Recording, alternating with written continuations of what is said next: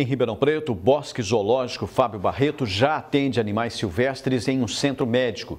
A estrutura de hospital possibilita até mesmo procedimentos cirúrgicos complexos nos animais vitimados. É uma estrutura de hospital.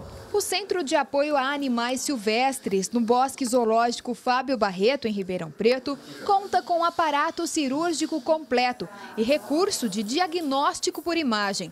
Tudo dentro das dependências, como se os animais não precisassem sair de casa. A gente espera muito desse centro médico, né? Porque acredito que todos os animais merecem todo o respeito, é, as qualidades, o atendimento que vai ter aqui, eu acredito que vai ser muito bom. A estrutura física do, do centro de apoio é oriunda de uma compensação ambiental.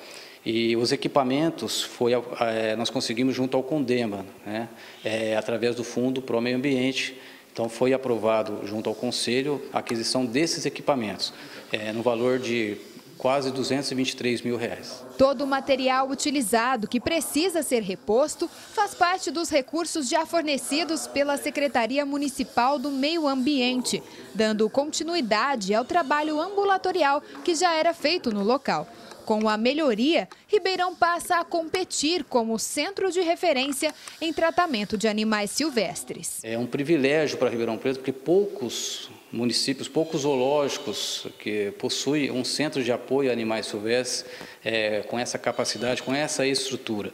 Isso vai facilitar em muito uh, o trabalho dos, dos, nossos médicos veterinários, dos nossos tratadores do, do, do zoológico, vai facilitar e muito também o atendimento a esses animais que chegam aqui vitimados. São atendidos atualmente cerca de mil animais resgatados, a maioria vítimas de maus tratos, atropelamento e tráfico, além do controle da saúde dos 630 que já vivem no zoológico.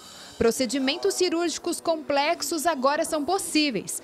Exames como raio-x, ultrassom e anestesia por inalação também estão disponíveis. Desde a abertura do centro, mais de 160 atendimentos já foram realizados. Só a gente tem praticamente 100% dos recursos aqui, então a gente não precisa transportar mais animal. Em qualquer emergência, a gente tem os equipamentos aqui para estar fazendo.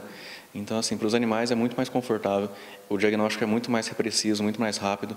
Então, assim, melhorou em mil por cento o atendimento nosso aqui. Quem também passou pelo centro médico foi a onça pintada macho, parte de um projeto de reprodução animal em cativeiro, em parceria com uma associação da cidade de São Paulo e um zoológico dos Estados Unidos. Depois do tratamento, os animais vitimados são mantidos no ambulatório, onde recebem cuidados médicos até estarem prontos para reabilitação na natureza. O diretor do Bosque reforça que este recurso não é aberto a animais domésticos. Só para animais silvestres e esses animais silvestres que chegam nas portarias do Bosque através de munícipe ou mesmo Polícia Ambiental IBAMA, animais vitimados. Animais domésticos, cães e gatos, a gente não pode estar deixando adentrar o zoológico. Thaís Mantoani para o Jornal da Clube.